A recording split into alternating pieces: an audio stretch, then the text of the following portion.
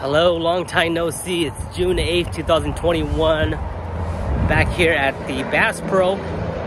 Let's go look at their inventory of ammunition. Haven't checked ammo for the last couple weeks now. No new ammo.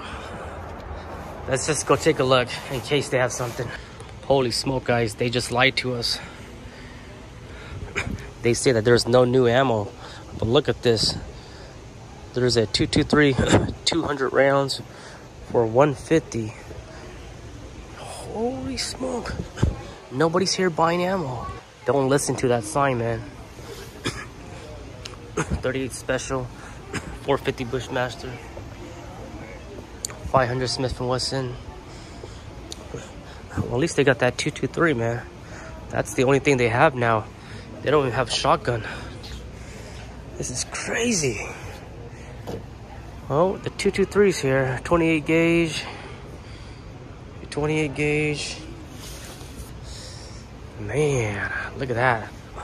All that 223 just sitting there. 2, 4, 6, 8, 10. So this 2, 4, 6, 8, 16, 18, 25 boxes.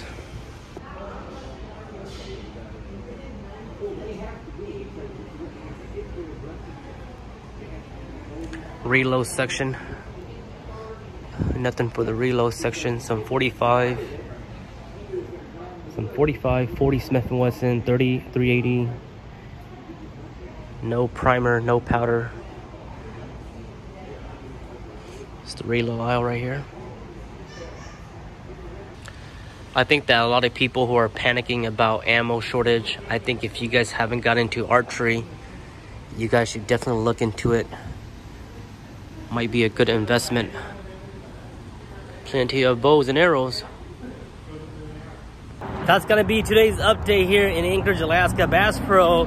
They had a sign that says no new ammo, but they had that 223, so maybe they had that 223 there for a couple of days now. Who knows? Didn't find any popular handgun or any other popular uh, rifle. One of the uh, workers said that they don't expect any ammo this week.